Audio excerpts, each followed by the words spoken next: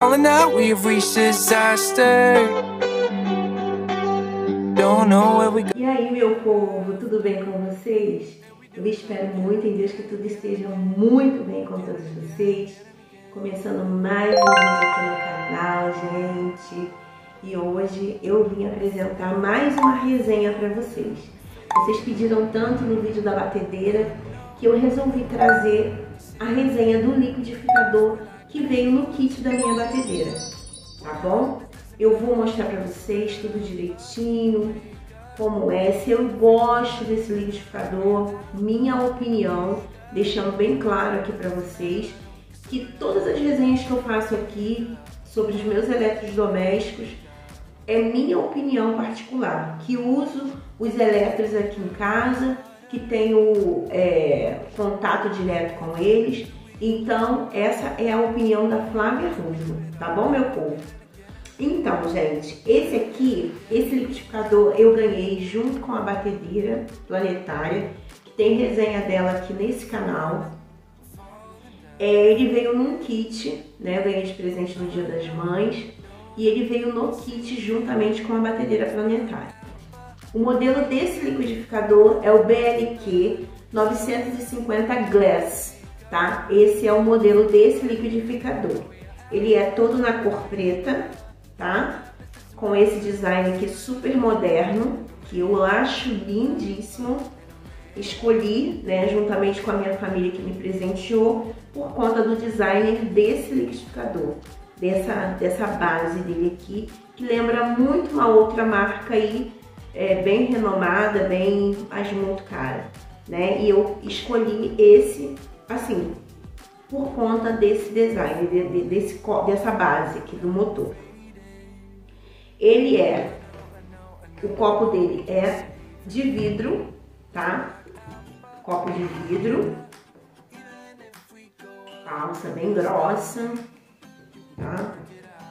A tampa dele é em plástico, com essa em acrílico, com essa tampa aqui em acrílico. Ele faz uma super vedagem, não vaza nada. E ela, essa borracha aqui, ó, ela solta, ela sai, tá? Todinha do seu copo para poder você fazer a limpeza e higienização, tá? O copo, como eu já falei, ele é de vidro, bem pesado por sinal, acho que, mas por ser um copo de liquidificador tem que ser resistente. Ele é bem pesado, tá? É em vidro. Isso é bom, o copo de vidro é bom porque não permite cheiro. Se a gente bate um alho, bate uma cebola, ele não fica com cheiro no próximo alimento que nós formos bater aqui, né? Isso não permite com que ele fique com cheiro, isso é muito bom. Por isso eles escolheram esse tipo de, de, de copo aqui para mim, porque eu já tinha falado que queria um liquidificador com copo de vidro por causa disso, tá?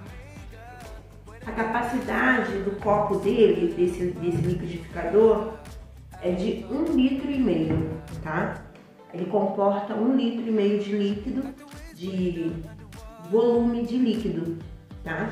Então, eu acho ele que ele super me atende, tá? Tem aqui, aqui vocês é, tem as medidas, tudo certinho um litro e meio, tem todas as medidas aqui e ele super, é, é muito bom.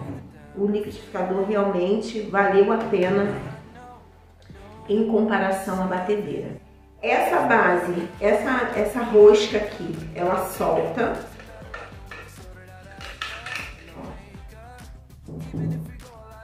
Ela sai, até mesmo para poder higienizar.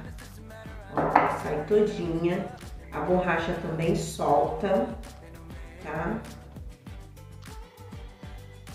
É de fácil lavagem, tá? É de muito fácil lavagem, veda bem, ele não vaza, tá? A gente consegue vedar bem, não vaza. Então, esse é o copo do liquidificador desse liquidificador. Agora, a base dele é toda em plástico, toda em plástico, tá?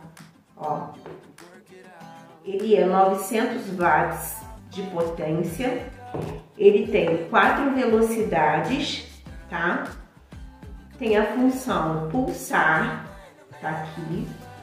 E essa mesma função, função pulsar, ela permite com que triture gelo e que faça a limpeza do copo e da hélice do liquidificador, tá? Então aqui a gente consegue nessa função aqui fazer a, a limpeza do copo e triturar o gelo, tá bom?